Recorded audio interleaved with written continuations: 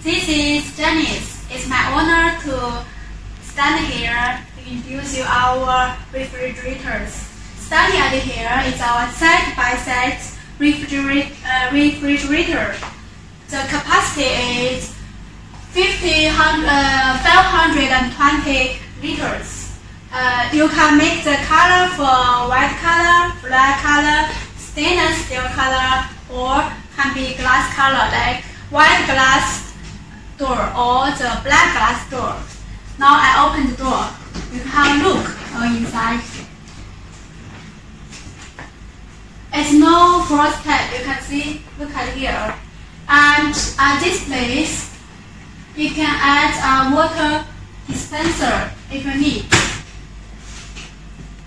And then here, you can see it's the digital display can be controlled by yourself. Okay.